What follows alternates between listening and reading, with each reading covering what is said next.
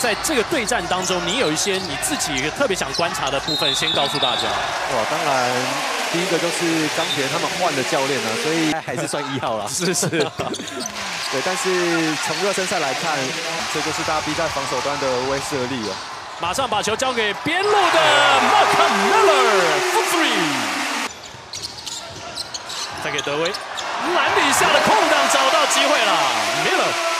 这也是在上一场比赛，钢铁比较会，包括了王柏志跟米勒在暂停回来之后都得到了分数。陈佑伟的切传发生失误，吴冠良一个篮板一个超截，再加一个助攻，Mark Miller，Showtime。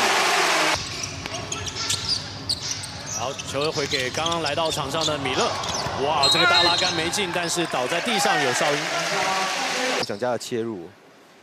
那没有一个他的这种呃，就是不是这种大禁区大洋将的这种禁区出手没进，铁米把对方给顶开，哎呀，手感也差了一点点。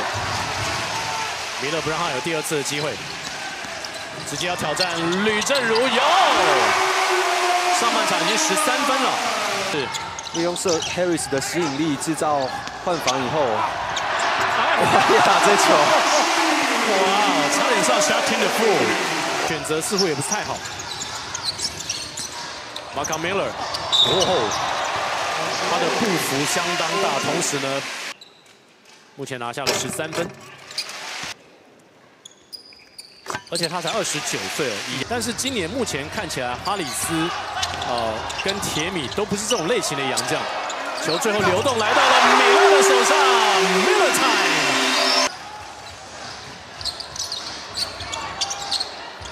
一个刺探步之后，没了四十度角投的轻松，就在铁米的面前，帮卢冠良做一个掩护，这边再帮 Miller 做一个掩护，Miller time，Miller 先把球抛出去给阿吉，跑得非常快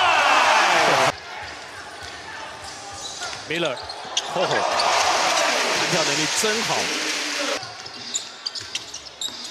，Miller 切入。有哨音，